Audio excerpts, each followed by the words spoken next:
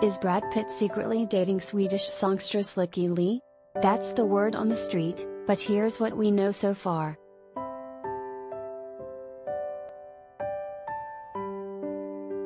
Are Brad Pitt and Lykke Li dating?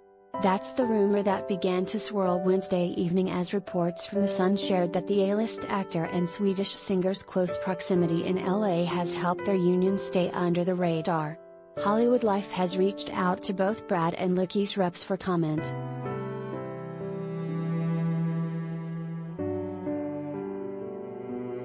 The outlet reported that the once upon a time in Hollywood actor, 58, and Little Bit singer, 35, have actually been seeing each other since mid 2021.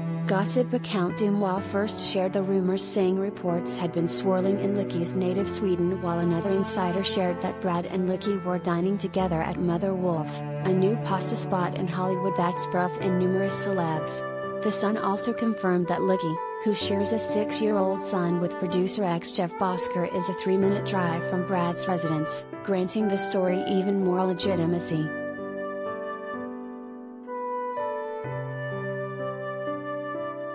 As we await to confirm the details about Brad's dating life, it's worth looking back just a few months when an insider told Us Weekly that there was still a huge cloud hanging over him as the roller coaster of his divorce with Angelina Jolie continues to rage on.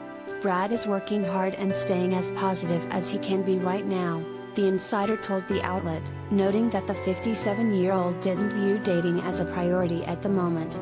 He's just not mentally ready and doesn't know when he next will be.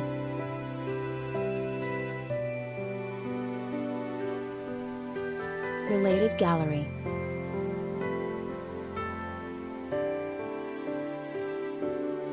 Brad Pitt then and now, photos of Hollywood hung through the years.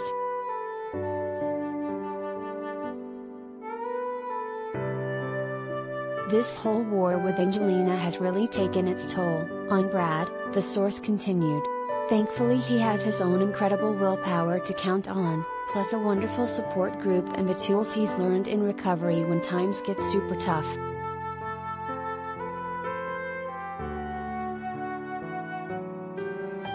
Perhaps the upcoming Babylon actor is taking things easy on the serious dating front, but that doesn't mean he can't have some fun with a few high profile ladies.